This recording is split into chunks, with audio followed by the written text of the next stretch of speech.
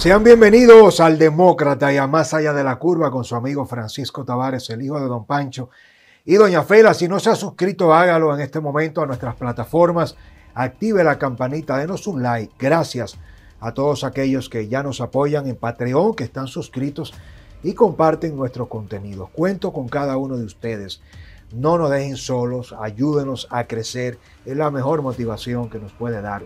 Vamos a hablar eh, de esta nueva ofensiva de Jan Alain, de Carlos Barcácer, su abogado principal de la barra de la defensa, a propósito de este caso de Donald Guerrero, señala eh, Jan Alain eh, a través de su defensa que con la operación de Donald Guerrero, que con el expediente, la investigación de corrupción al ex ministro de Finanzas de Danilo Medina, Donald Guerrero, se confirma lo que han venido denunciando, su tesis eh, de corruptos eh, predilectos. Es decir, que Jean Alain, en pocas palabras, tira al medio, un buen dominicano, a Donald Guerrero, eh, comienza a cantar Jean Alain y lo hace de una manera no tan sutil.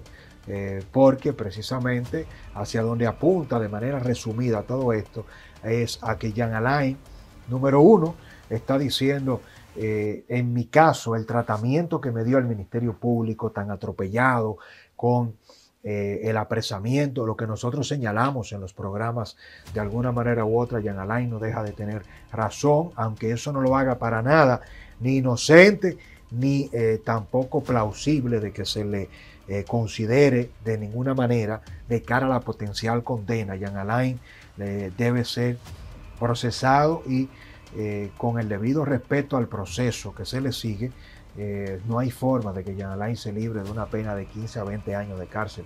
Y esto lo estoy diciendo como abogado, para aquellos que piensan que el caso se va a caer, que Jan Alain con la operación Medusa va a terminar siendo beneficiado como la gran mayoría de los imputados en Odebrecht, a pesar de que Odebrecht fue un escándalo de una operación de corrupción internacional. Fíjese que estamos hablando del equivalente estimado de eh, algo más de 5 mil millones de pesos.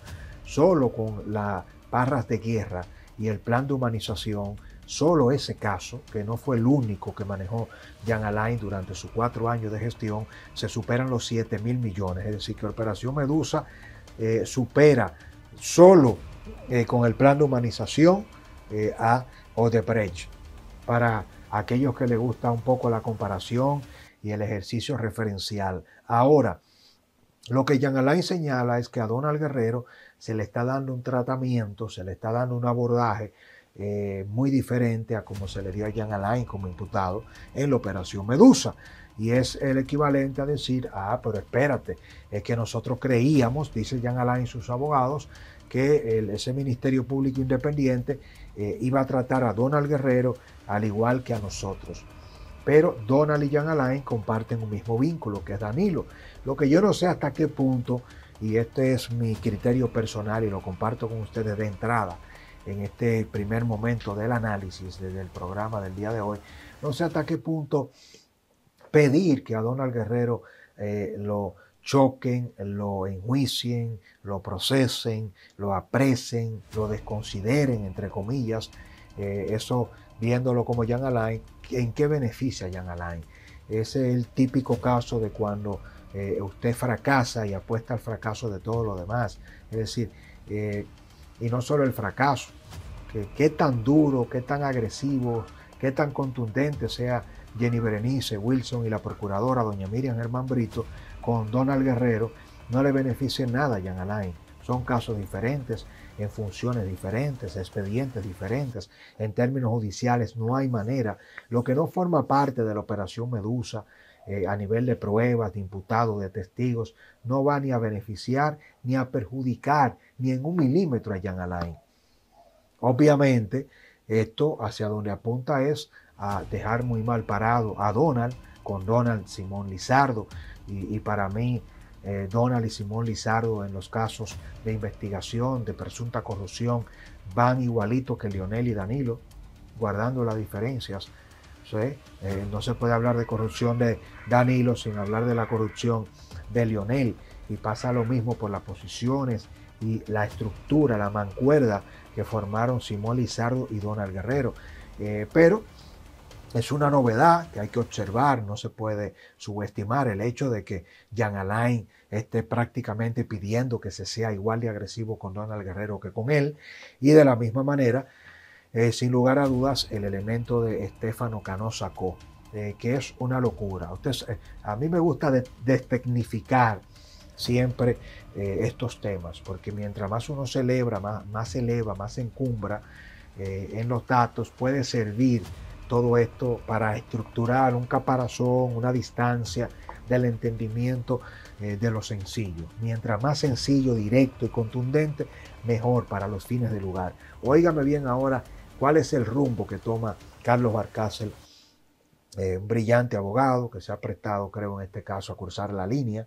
Yo no cuestiono a ningún profesional del derecho, a un colega, eh, un abogado tiene todo el derecho que le asiste a defender a narcos, a asesinos, a delincuentes, a criminales. Es un derecho constitucional, incluso tan arraigado y antiguo que cuando usted como imputado, no importa de qué se le acusa, ni de qué termine siendo condenado, no tiene para pagar un abogado, el Estado, con el dinero suyo, es decir, con el dinero nuestro, nosotros financiamos los abogados de aquellos criminales y delincuentes que eh, cometen crímenes atroces en contra de nuestros niños, de nuestros envejecientes, de nuestras esposas, eh, de la sociedad, todo eso trauma, un defensor público, porque es un derecho universal prácticamente, no hay eh, ningún país del nuevo mundo que no contemple la legítima defensa y la defensoría pública cuando usted no tiene un abogado o recursos para pagarlo.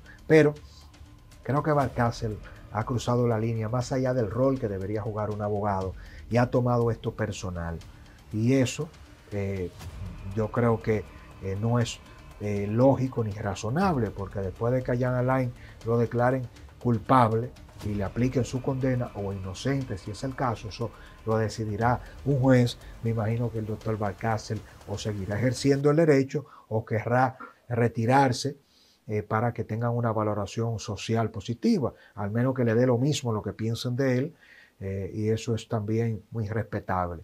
Mi punto de vista, cierro paréntesis con Carlos Balcácer y con muchos de los abogados de estos casos de corrupción, es que el dinero eh, es bueno, cuando le pagan grandes sumas, usted se motiva, no, todos los casos no son iguales, ni todos los clientes son iguales, por la plata baila el mono, por el tamaño del bolsillo de cada cliente. Los abogados se empeñan más o menos, sobre todo los abogados de élite.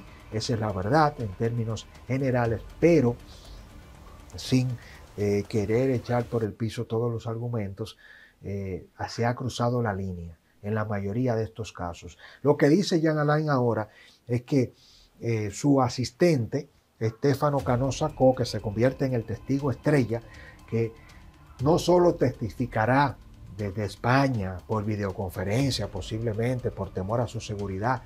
Eh, no solo eso, sino que Estefano Cano sacó, es el que llama eh, en combinación con Jenny, con el equipo de, eh, del Ministerio Público que la acompaña, Wilson y a ella, y haciendo conferencias es el que destapa a todos los proveedores, ingenieros que le pagaron soborno a él. Como él ya tiene la garantía de que no forma parte del expediente de la acusación, el mismo Estefano, es el que comienza a llamarles y a decirle, mira, eh, tú me entregaste a mí 60 millones, tú me entregaste 200 millones, tú me entregaste 300 millones, fue en tal sitio, en tal sitio y tal sitio. Este es el momento. Ve, pero en línea, eh, grabándose la llamada, a ti te está escuchando la magistrada Jenny Berenice, Wilson Camacho, tienen todos los datos.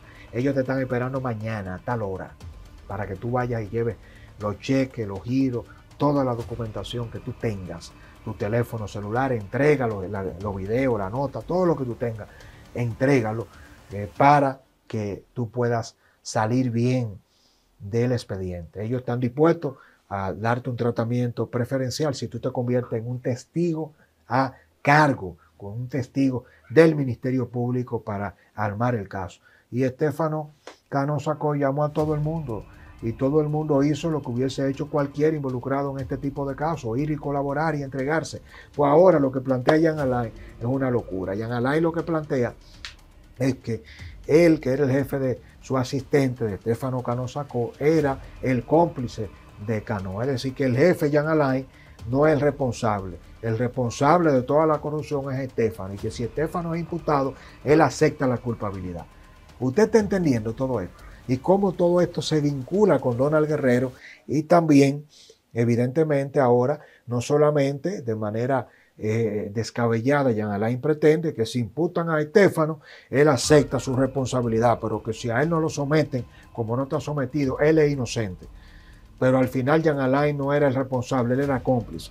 Y entonces el enfrentamiento ahora que se ha degenerado entre una rivalidad, una posible eh, crisis entre Jenny Berenice y doña Miriam Germán Brito pone evidentemente en ascuas y pone eh, en un punto de inflexión toda la agenda del Ministerio Público y no nos obligamos nosotros quizás a llegar a un criterio exagerado del panorama, pero a propósito de la velocidad que está tomando todo esto, del video que le voy a compartir a continuación de Jean Alain y sus abogados, usted va a entender eh, hacia dónde este caso toma un giro eh, que puede terminar generando dos cosas, o que Jean Alain provoque que se vayan todos los miembros del comité político para él no irse solo, y es lo que Jean Alain pretende, yo no me voy solo, o llevar esto hasta una crisis incluso dentro de la propia Procuraduría General de la República. Le digo por qué y le comparto el video a continuación en la opinión del demócrata.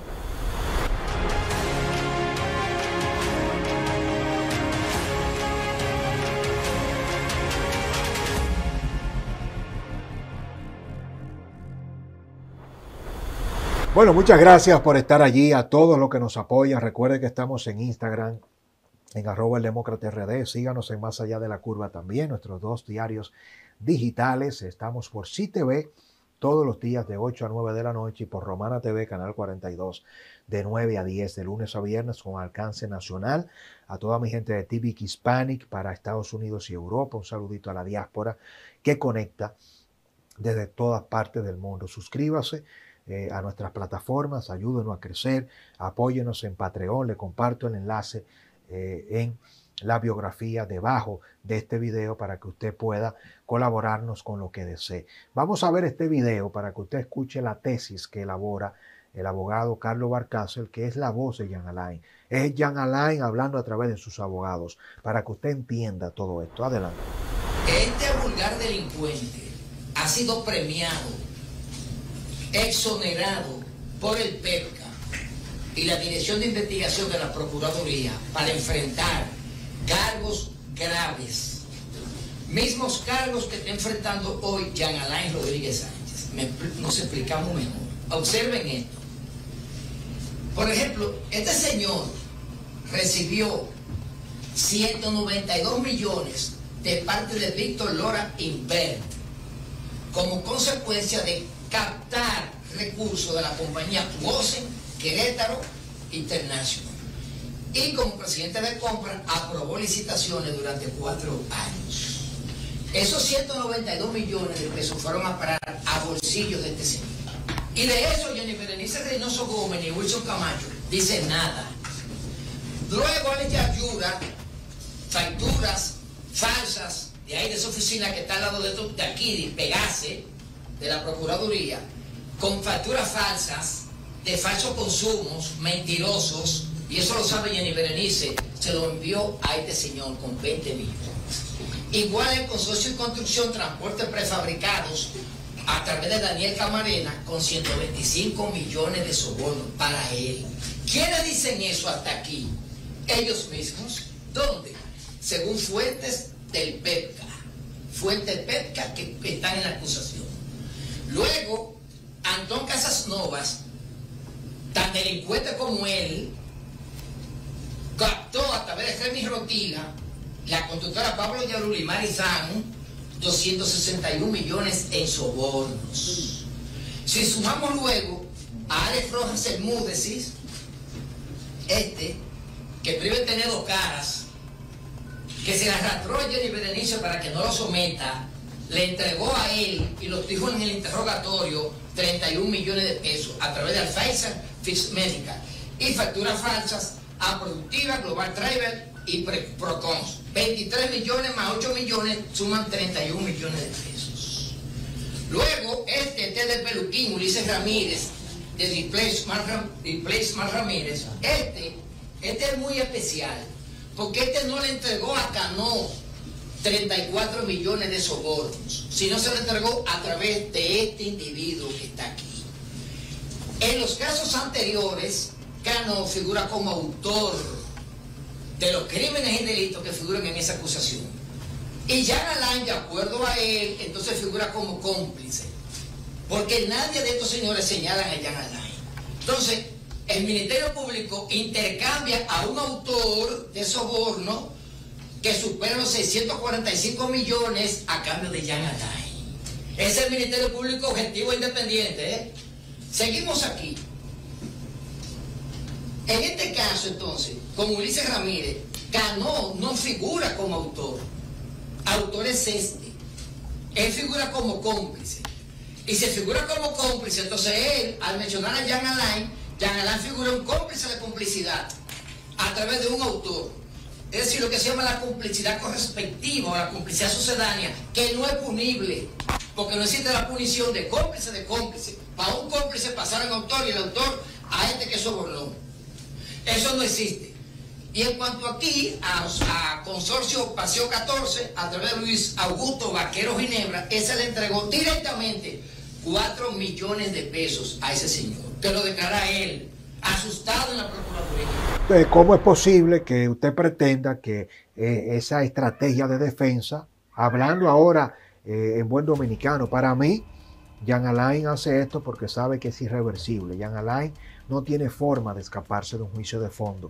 Ya se le dio apertura al juicio preliminar. Estamos hablando de más eh, de 13 mil páginas del expediente, de miles de pruebas depositadas en su contra. Entonces, Jan Alain tiene la misión de no irse solo, y es la decisión que tiene que tomar Jan Alain. Si él termina enfrentando una de las más eh, eh, acérrimas y contundentes eh, condenas, de las más eh, fuertes condenas que se hayan obtenido contra eh, ningún exfuncionario por un caso de corrupción, si la asume él solo o si en esta etapa del juicio preliminar y de fondo tira sus últimos recursos, sus últimas patadas, como diríamos en el argot popular, tratando de arrastrar a Donald, a Simón, a José Ramón Peralta, a Gonzalo Castillo, a todos los expedientes que están en proceso de investigación. La gran mayoría de los miembros del comité político de eh, los ocho años de Danilo, que estuvieron también con Lionel, por cierto, forman parte del proceso de investigación en la Procuraduría. Y la tesis de Jean Alain es que hay un tratamiento preferencial de parte de Jenny, de Wilson y de Doña Miriam.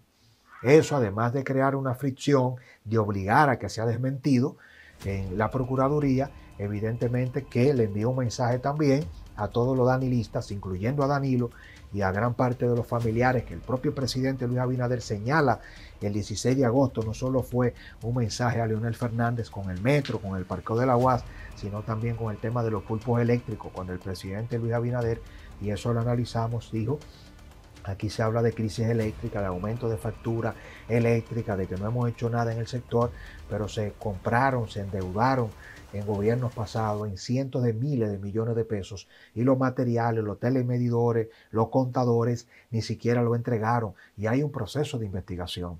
Eso tiene nombre, Rubén Bichara, jefe de campaña de Danilo, Alexis eh, Montilla, eh, Alexander Montilla, hermano de la ex primera dama Candy Montilla, Luis de León, cuñado de Danilo, esposo de Carmen Magalis. Entonces, aquí aparenta todo a que Jan Alain no se quiere ir solo y precisamente eh, afirman sus abogados que en el caso que involucra al ex ministro de Hacienda, Donald Guerrero, demuestra que la procuradora adjunta Jenny Berenice tiene acusados predilectos. Ya eh, que, eh, como ellos habían denunciado el pasado año, eh, que Jean Alain ha sido prácticamente el único que ha sido tratado con esta severidad.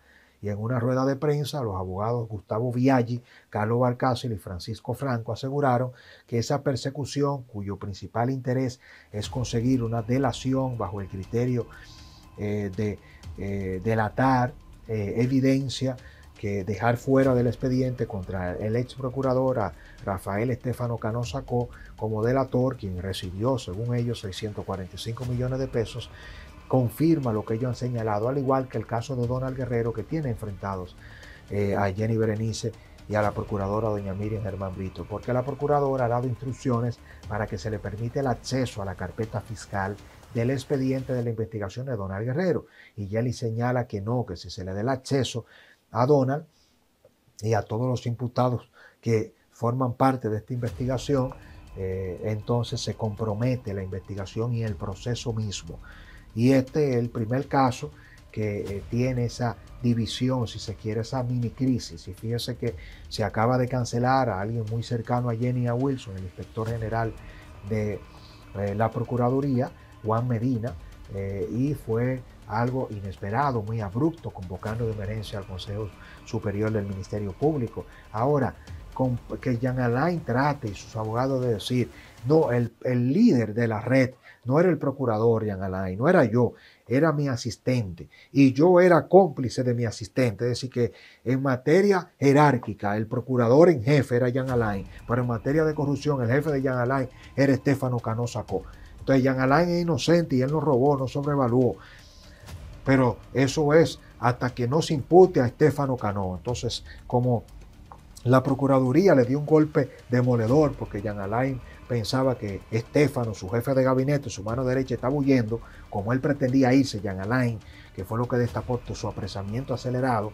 Eh, la segunda vez que trató de salir del país, Jean Alain, mientras pensaba que Estefano Cano Sacó estaba prófugo, no había problema. Pero cuando se enteró él y el país, y fue tarde, que Estefano estaba colaborando con la Procuraduría, una jugada maestra de Jenny, entonces le quitan todos los cargos, sacan del expediente Estefano para que él sea el testigo protagónico, tipo Girón contra Jean Alain. Y yo le pregunto a usted, dos preguntas en una a cada uno de ustedes. ¿Están ustedes de acuerdo con que en el caso de Donald Guerrero, Jenny Berenice, Wilson y la procuradora le han dado un trato preferencial? ¿Está Jean Alain presionando para enviarle un mensaje a Danilo de que como él ha caído y lo han dejado solo, él está dispuesto a arrastrar a todo lo demás, incluyendo a Donald Guerrero? ¿Qué piensa usted de todo esto y de la posición de Jean Alain, de que él no era el que dirigía el entramado de corrupción, que era su asistente, que el jefe de Jean Alain era su mano derecha, Estefano Cano. ¿Usted cree en esa tesis de verdad? ¿O esto no está apuntando a que Jean Alain está dispuesto a que con él se vayan todos los pesos pesados eh, que también robaron y que él sabe muy bien que en muchos casos robaron más que él, pero que todavía no le ha tocado? ¿Hacia dónde va todo esto? Quiero leer sus comentarios. Les leo. Bendiciones. Canales de YouTube hay muchos, pero con credibilidad pocos como el demócrata, donde la verdad se revela y la mentira se aclara. En el demócrata asumimos el sagrado compromiso de quitarle la piel a las palabras y ofrecer la verdad desnuda, asumiendo un solo compromiso, y eres tú.